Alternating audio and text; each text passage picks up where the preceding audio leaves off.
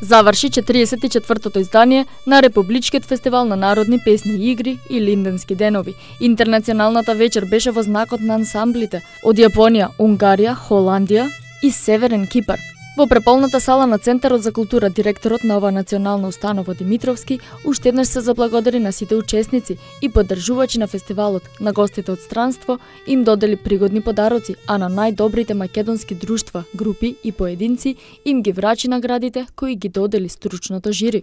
За најуспешна група која презентираше изворен фолклор, прогласен е фолклорниот ансамбл Китка од Истибања. За најуспешна група која на фестивалот презентираше староградски фолклор, прогласен прогласена е пеачката група Весела Тајфа од Богданци. За најуспешна група што во Битола презентираше детски фолклор, прогласени се членовите на Кут Илјо Антевски Смокот Тетово. За најуспешен изворен оркестар на годинешниот фестивал, прогласен е оркестарот на народни инструменти и училиштето за тапани при ансамблот за фолклор Гоце Делчев од Битола. За најуспешна вокална изведба наградена е Маре Мојсовска од Кут 7 септември од Македонски брод. За најуспешен автор што подготвил сценска презентација на изворна фолклорна содржина, прогласен е Стојко Митковски, од фолклорниот ансамбл Китка од Истибања. За најизворна и најкомплетна изворна носија, жирито ја прогласи народната носија на Кут Мирча Ацев од Прилеп. Жири комисијата додели специјално признание за исклучителна изведба на ората Женско чамче и Чифте чамче на Кут Илинден од Битола. Кулминацијата е приреди македонскиот УНЕСКО амбасадор Драган Даутовски со неговите соработници кои го промовира најновиот музички албум Пламен и приредија незаборавен спектакуларен концерт.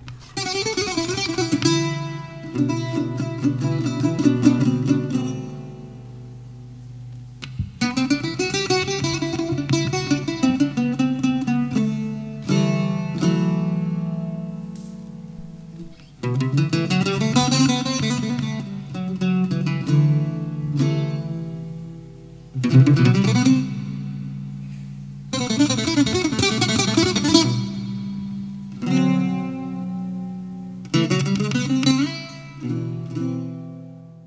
Ние имаме некакво искуство пред публиката на музикалниот град Битола. А, секој пат сме радосни кога ќе дојдеме во градот на музиката и искрено се надевавме дека ќе биде нашата средба на Хераклијана еден малку по природен овај во природен амбиент и се разбира прастар. А, меѓутоа и вечерва беше убаво се гледа и по нас дека сме баш сериозно испотени и, и дадовме максимум од себе. Во принцип тоа е а, една од особините на овој квартет, на оваа формација, секој пат да дава максимум, без разлика на сите фактори на ризик. Многу артисти на сцена, разместување, микрофони микрофон, иначе тоа е убитачно, за, знаете, за еден ансамбл да пред самиот настап да се наместува да се местат микрофони и инструменти. Меѓутоа некако ми се чини дека сме навикнати на многу такви фактори на ризик. И на крајот на краиштата беше наистина прекрасна и убава вечер. Уживавме ние, се гледа по нас, публиката исто гледам задоволна, се замена и вие ќе кажете повеќе, така да до некоја наредна средба. Мене лично ми представува особена чест што бевме на затварањето на, на една манифестација за која што јас имам многу високо мислење и од етика, и од професија, и од уметност, од секој аспект се надевам дека Битула доволно внимание му посвети од аспект на публика Иначе таков тип на фестивали во, свет, во светот се најпосетени, многу повеќе од Цеца или не знам кој, верувајте ми.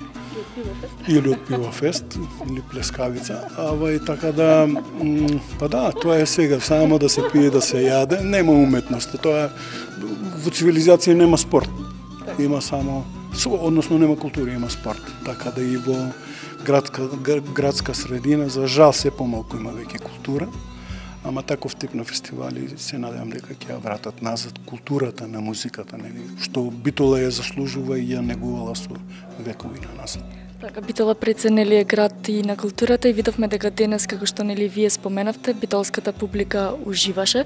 Колку е значено да се биде во денешно време автентичен?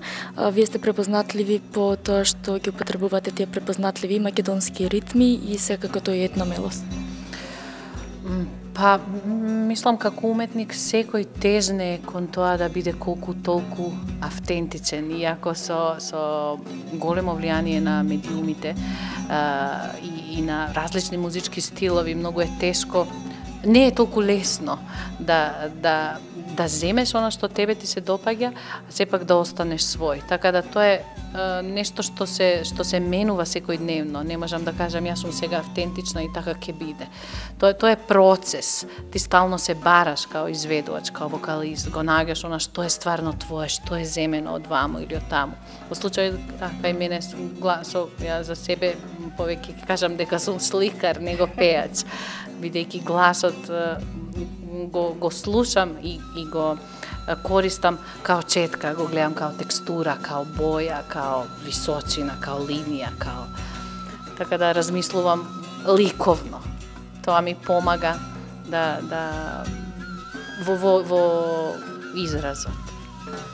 Битолчани денес има и една ексклузивна можност да чујат дел од вашиот нов материјал. Секако има можност да чујат и дел од вашите постари композиции, нели особено музиката од популарната представа на Пројковски од Јонадап. Да, Пред се, така. танц, да, се сеќавате одлично. Да. Така, а, кажете ни нешто малку повеќе околу а, новиот материјал. Па да, во принцип со години на назад квартетот има огромен број на композиции кои што се на лагер, значи во функција на она што се вели политика на репертуар.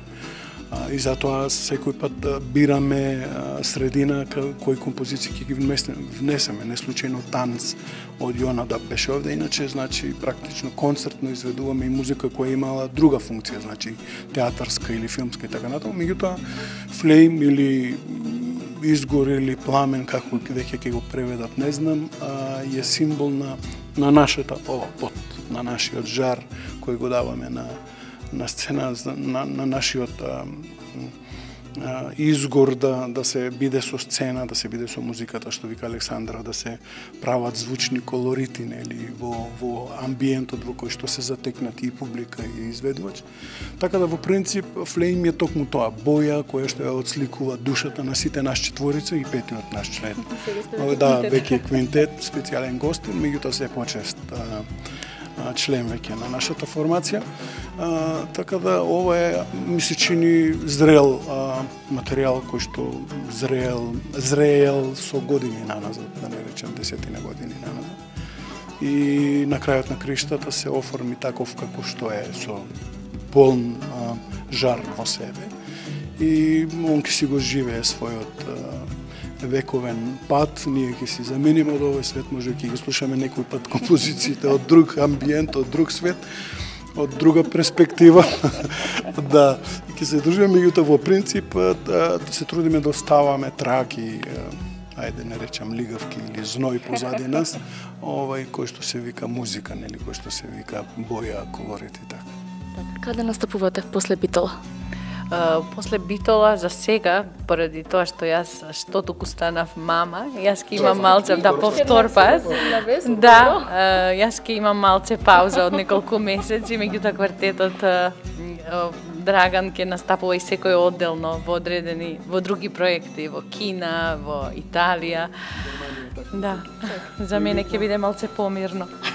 Да, да, да, додека да порас, да, да, додека да би да бидат дечките затоа што имаат преубави девојчиња, овие дечки додека не пораснат, барем во подалечните на подалечни дестинации ќе абстинираме што се однесува до оваа формација, меѓутоа поблиско е и овај случај овај ќе се собираме сите затоа што нас не спојува она повторно што се вика флейм, нели или или се она што секој од нас го носи во во душата како музичко сознание, како индивидуален белек што е изграден низ една заедничка работа.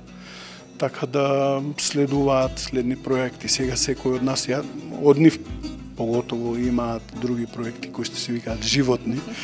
Ја се трудам и тој другиот дел од квартетот да ги бутнам во тој свет на, на семеен свет, нели, да, затоа што им е време. така да наоѓаме време, простор, па и сили да повторно Меѓутоа пак секој од нив зрее, јас и кажав на сцена дека не се веќе тоа децата или не знам учениците кои што беа пред 10, 12, 15 години, него се сега мами, тати, не знам, професори и така натаму, така да. Само да сме живи и здрави.